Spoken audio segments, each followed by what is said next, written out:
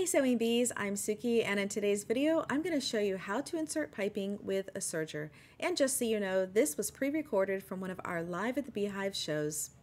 Exact way that I do piping with my serger. Let me show you kind of the goal is to have the piping inserted into the seam and then all finished. And in this case, we did a four thread overlock. Now I'm going to show this in a moment and you'll be able to see the stitches much better on the camera, but that's kind of the goal is to have this right inside, that in that piping inserted. So now what is piping? Well, piping is a piece of fabric and cording. So when you marry fabric and cording, you get piping. Now, there's um, the first thing I want to talk about is you are going to need a presser foot for your serger.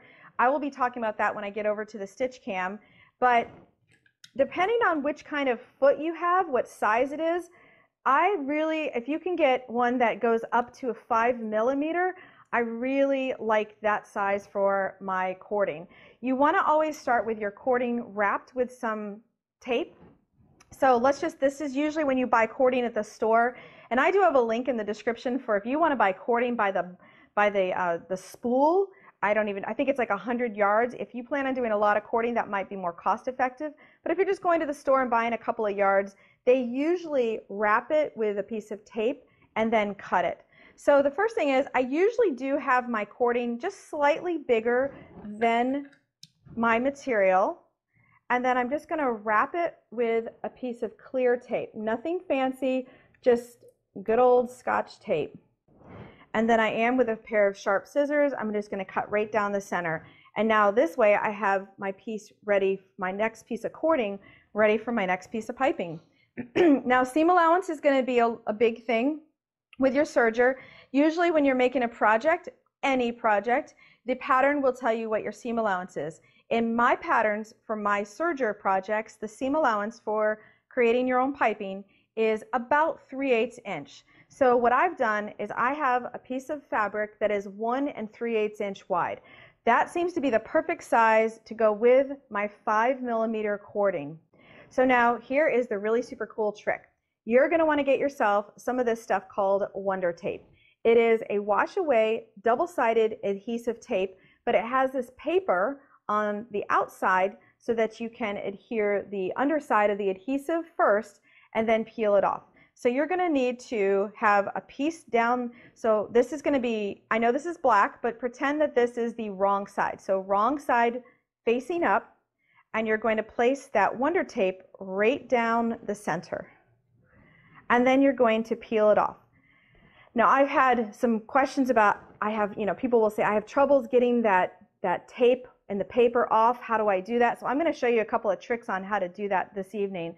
But that's the first place that you put the Wonder Tape. So you put it right down the center on the wrong side. Then the next is you put a second piece right on the top raw edge and then just press it down and you can go ahead and tear your paper away. I find that if you tear it away, you'll sometimes get this little like tattered edge and you see how the tape, the, the actual adhesive right here, just it's just really easy. I'm going to be able to pull that one away real easy. Even this one right here, do you see how I tore it? So I can kind of see the beginning of the adhesive and I'll be able to get my finger underneath there and grab hold of it. I'm going to show you a couple of tricks on how to remove the adhesive though. The first is those, those um, angled precision tweezers. We have them from Sookie Sews. It looks kind of like a little ankle, like a little foot sitting straight. So if you treat it like a little foot and you go at the end right here and just kind of smush on it, smush, that's a real, that's a real technical word. Sometimes that is all you need in order to peel away the paper, just like that. The other thing you can do is because of the angled on those tweezers, you can kind of get right inside there and help divide, or I guess separate, the paper from the adhesive. So that's another thing you can do. But really, you can use the end of anything. You could use the end of a pair of scissors, your fingernail, I mean, whatever you can get in there. But I really do like the tweezers, the little angled part, because I am able to get in there real easily. Okay, so now you're gonna you're gonna put it in the center and on the top, and now you're to peel away the center. I'm going to show you another trick on how to remove that paper as well. But we've now got the center adhesive exposed and we're going to place the cording right down the center and we're just going to kind of finger press that into place. All right, now it's time to remove the top piece of paper and we're going to sandwich this down and it'll, it'll kind of encase that cording inside there and that little adhesive top will go to the bottom and it'll be nice and smooth and perfect and ready for us to, to use in our serger. But I'm going to show you a trick. Now, I actually learned this from one of my students this past week, and I promised her, her name was Carol. I said, may I borrow this? I have to share this with my, my friends online. So she showed me that if you take that extra piece and you, you leave it a little bit longer, see, see about, it's about a half inch extra beyond the edge of my fabric, fold the adhesive onto itself. So we've got the paper going around, so the adhesive is on itself. And now when you grab hold of the paper, the adhesive sticks to itself and makes it really easy to remove the paper. So when she showed that, I thought, oh, that's the coolest thing. So I wanted to share that with you all. So now there's the top adhesive, and all we're going to do is just fold it over and sandwich that cording inside that fabric. And so now we have piping. So we've got the thickness of our five millimeter piping right sandwiched inside there. So now we're going to get our pieces of material and we're going to put them right sides together. And traditionally what you would do is you'd wrap the cording around, excuse me, you'd wrap the fabric around the cording just like this and you would go through the serger and you would serge all the way down. But what does that do? Well, one, it takes time, but the other thing it does is now you've got this serge seam all the way down, and then you'd be taking that serge seam, putting it inside here, and then adding a second serge seam. So this not only re reduces time, but it also reduces the bulk of that extra stitch in there. So now we've got right side facing up, we have the raw edge, and we've got our piping with the cording toward the center. And we're just going to lay that on the edge, all raw edges together. And we've got right sides together. And we're going to just use some Wonder Clips to help hold this in place. And that measurement that I mentioned, your, your piping fabric is going to be cut at an inch and 3 eighths. And if you use that with the 5 eighths inch, the, excuse me, the 5 millimeter cording, it just works out really, really good. Okay, my sewing bees, so that's what we've got. And now, Bear, let's go ahead. I'm to grab my snips and we're going to head over to Stitch Cam and we're going to stitch this up. Okay, so first, now tonight I have a different serger. I've got the Bernina L460, but you do need a cording foot. There is the because a regular foot is just going to be too flat and it will smush, it will mat down that cording, that the you know the the the bump of the, the cording that's inside there.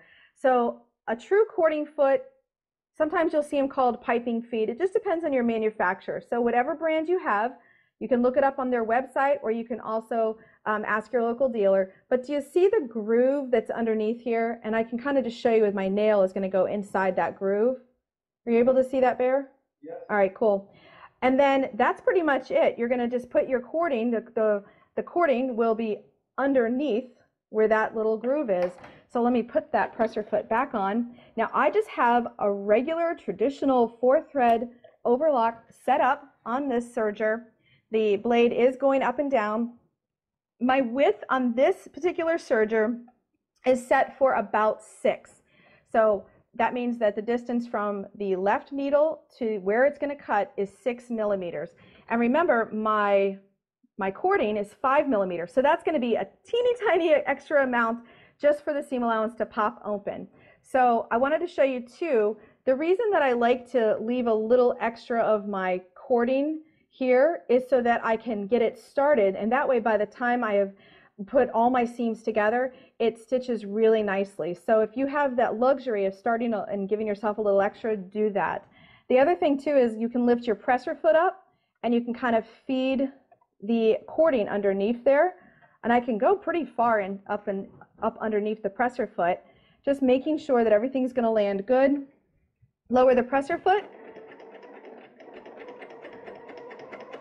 And we're gonna get started.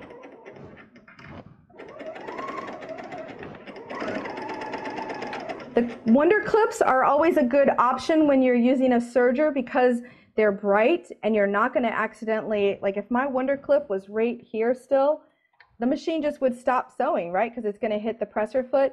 But they're also like little flashlights, like, hey, ho, don't forget me. So you can easily see them.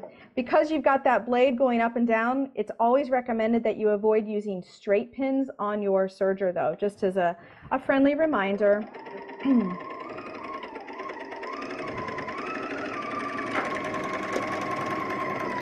And then two is another reminder, because you have that blade, that blade is going up and down, you can take advantage of that and use that to cut your thread tail. You could also use, usually on the side of sergers or sewing machines, there's a little thread cutter, but you can also use the little thread snips, and these are definitely my, my little go-to thread snips. And so now let's do our little grand reveal, and there is our beautiful cording inside the inside the material and so we've created piping and it's done in all in one step. There's no extra steps you had to create. Once again this recording came from one of our live at the beehive shows. Thanks so much for watching and until i see you next time i hope you have a creative day. Bye bye